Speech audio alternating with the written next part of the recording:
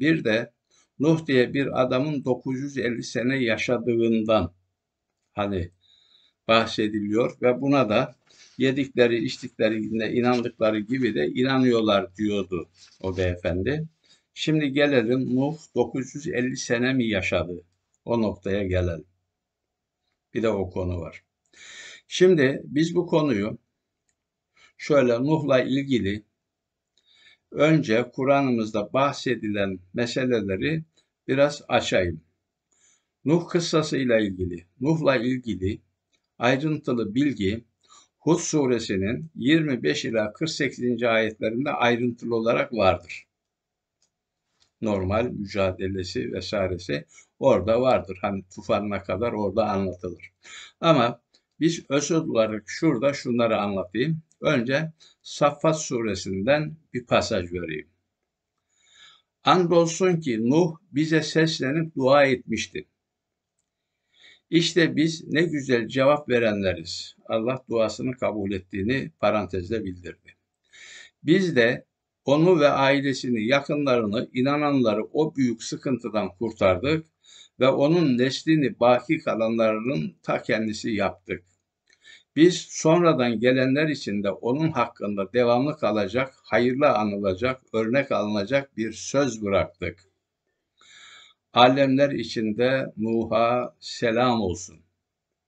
Şüphesiz biz iyilik yapanlara işte böyle karşılık veririz. Şüphesiz Nuh bizim mümin kullarımızdandı. Sonra diğerlerini suda boğduk.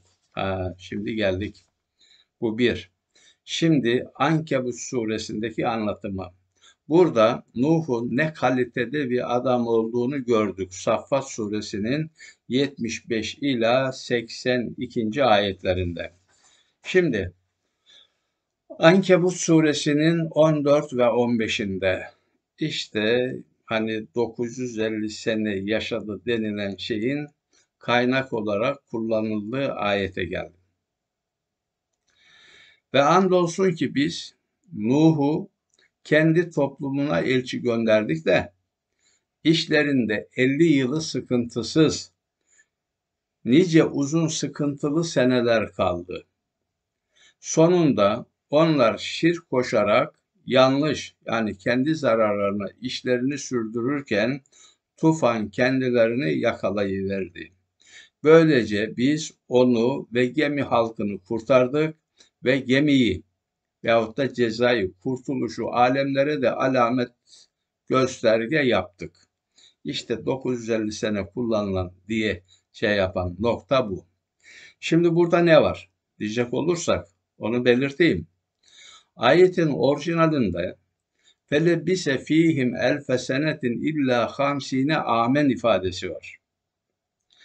Onların arasında, onların içinde Nuh 50 sene, sene, bu sene sözcüğüne iyi dikkat edin. 50 sene. Ancak illa hamsine amen. Ancak 50 am diye şey yapılır. Yıl olarak diye bunu çeviririz de biz farkını anlatacağım. O farkı anladıktan sonra her şey zaten ortaya çıkıyor. Evet 50'si 50 am müstesna.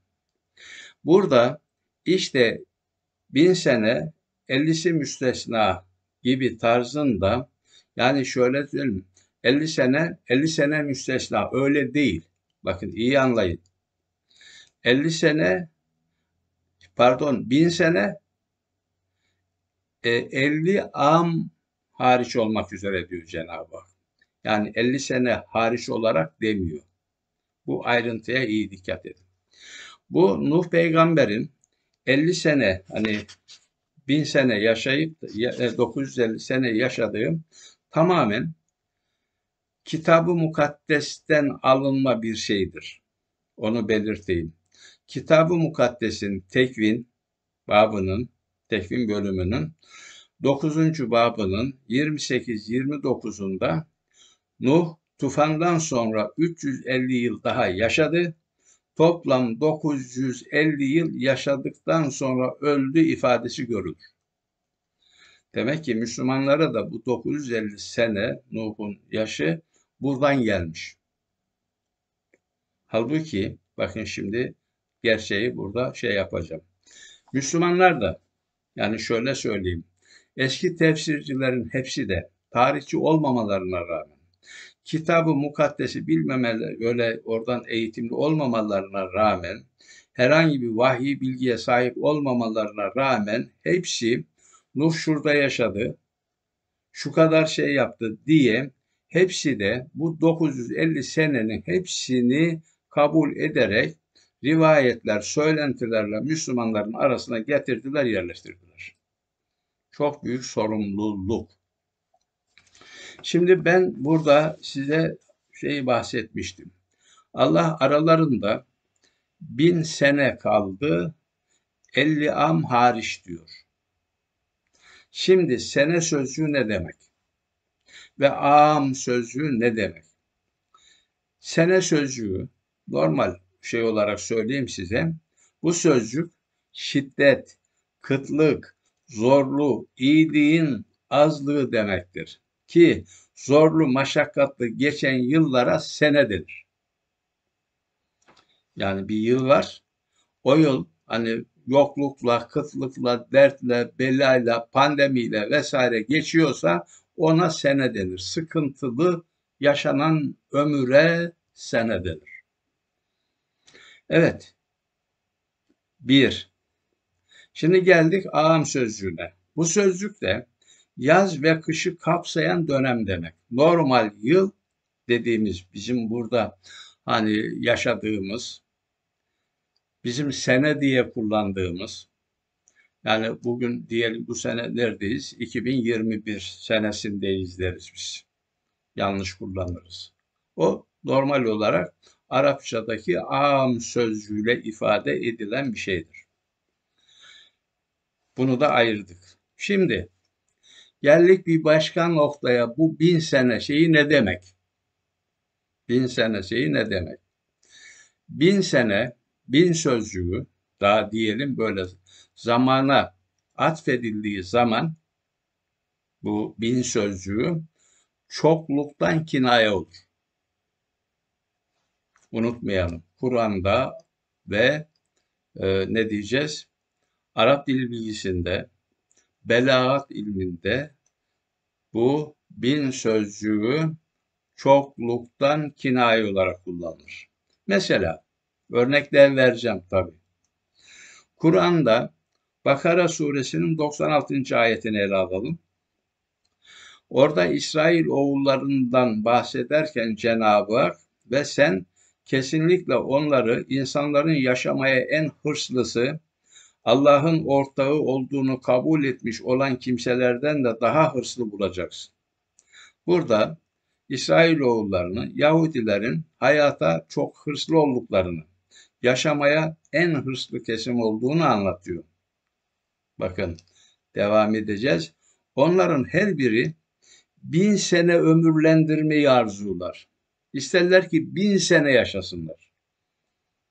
Buradaki bin sene yaşasınlar istemeleri çok uzun yaşasınlar demek. Yani illaki bunlar e, yani 1001 veyahut 999 yaşamak istemezler de illaki bin olacak demek değil. Şimdi bu bir. Şimdi Kur'an'ımızı ele aldık. Şimdi hepinizin bildiği bir başka şey daha var. Onu da hemen söyleyeyim. Şimdi Kadir suresi İnna enzelnahu fi leyletil kadr derken leyletul kadri hayrun min elfi şehrin. Evet, Kadir gecesi bin aydan hayırlıdır. Bin ay. Peki 999 ya da 1001'den hayırlı değil mi? 2000'den hayırlı değil mi? 3000'den hayırlı değil mi? Evet, onlardan da hayırlı. Bunlar çokluktan kinayedir. Ayrıca böyle şöyle söyleyeyim.